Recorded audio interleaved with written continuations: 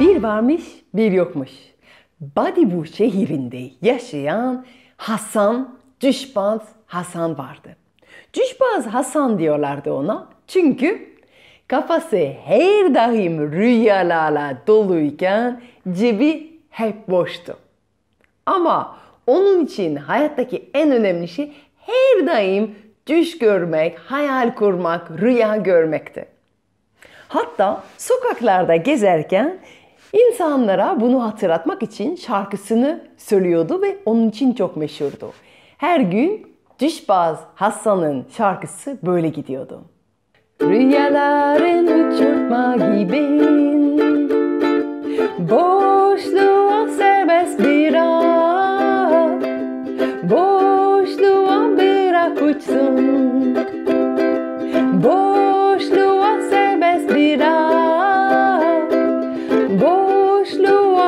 bırak uçsun Ve hemen Hasan bir rüya görmeye başladı. Rüyasında eline almıştı bal dolu çana ve sokak sokak elinde bir kaşıkla gezmeye başladı. Kim güzel balımı tatmak ister, kim güzel balımı tatmak ister. Balı tadan herkes almak istiyor. Bal öyle lezzetli ki insanlar karşısında altın veriyor.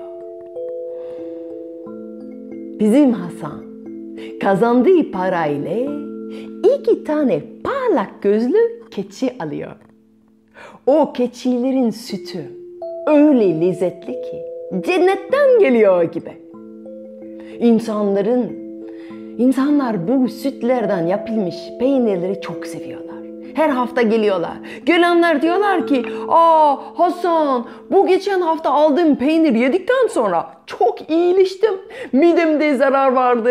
İyileştim. Zor yürüyordum. İyileştim. Başım ağrıyordu. İyileştim." O kadar çok seviyorlardı. Bir hafta geçmeden o iki keçiler ikisi yavruladı. Ve bir ay sonra o yavrular ve keçiler tekrar yavruladı. 2'den 4, 4'ten 8, bir ay sonra 8'den 16, o birkaç ay sonra Hasan'ın kocaman bir keçi sürü, sütü vardı, sürü vardı. Ve hepsinin sütü şifalıydı ve lezzetliydi. Oh, Hasan'ın artık yoğurtları, sütleri, peynirleri çok meşhur oldu. Pazarda kalamıyor. O kadar çok insanlar geliyor ki artık dükkan tutma zamanı geldi. Tam pazarın ortasından en gözde olan en büyük, en güzel dükkanı tutuyor. O dükkanda çalışanları var, keçileri bakanları da çalışanları var. Artık Hasan'ın çok işi kalmıyor. Sadece dükkanın önünde uzayan kuyruk seyrediyor. Peynirler için teşekkürler alıyor. Herkes onu tanıyor, herkes onu seviyor. E tabii ki Hasan o kadar güzel bir dükkanı varken, o kadar çok fazla keçileri, sütü, peyniri varken bir hayli zengin olmaya başladı. Ama tarzını hiç değiştirmedi. Yok, parasını cömertçe bir şekilde paylaştığı gibi kıyafetleri bile hiçbir şey değiştirmedi.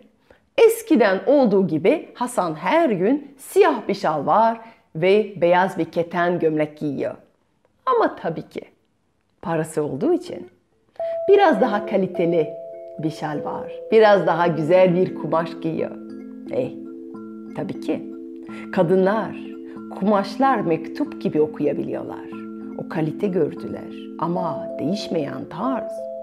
Anladılar ki Hasan hem zengin hem akıllı hem de son derece mütevazi bir insan. Bunu fark edince şehirdeki bütün kadınlar ona aşık oldu. Hatta kasabın kızı bile çok ısrarcıydı o konuda. Ama Hasan böyle evliliğe karışacak zamanı hiç yoktu. Çünkü ne de olsa onun keçi sürüye bakması gerekiyordu, onun dükkana bakması gerekiyordu. Yok öyle zamanları yoktu. Ee, öyle olunca şehirde herkes Hasan'ın bilgeliği, mütevaziliği, cömertliği konuşunca o kadar mert edilen bir insan olunca Zaman geçmeden padişah bile onu huzuruna çağırdı. Padişaha gidince yine üstünde her gün giydiği gibi siyah şal var. Deri mokasan, keten bir gömlek vardı. Ama güzel siyah bir atın üstünde geldi. At şimşek gibi hizliydi ve gecenin içinde parlıyordu. Attan indiği zaman sarayın penceresinden güzel padişahın kızı onu seyretti. Onu gördü ve anında ona vuruldu. Hasan da güzel padişahın kızı görünce ona geçerken bildircin yumurtasının büyüklüğünde bir pırlanta hediye etti. Hediyenin karşılığında padişahın kızı ona bir mektup uzattı. Mektubu açtı ve içinde Hasan. Hasan bu saray içinde nefes alamıyorum. Yarın siyah atın üstünde gel ve beni bu dar ve sıkıcı hayatından kurtar. Ben seninle birlikte macera yaşamak istiyorum.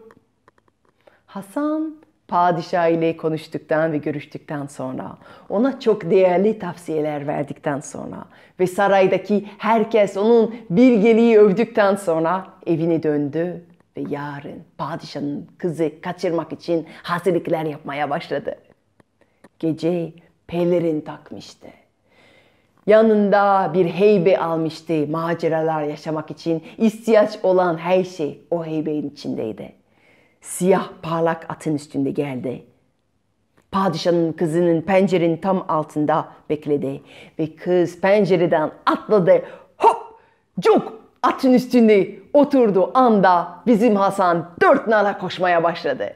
Koştu koştu koştu ama tabii ki sarayın muhafizler de onun peşinde koşmaya başladılar. Dört nala birbirini takip ettiler ama onlar onu yakalamasınlar diye güçlü bir tekme attı.